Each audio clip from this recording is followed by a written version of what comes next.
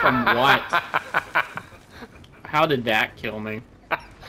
What do you mean, how did six monsters that blew up at once kill you?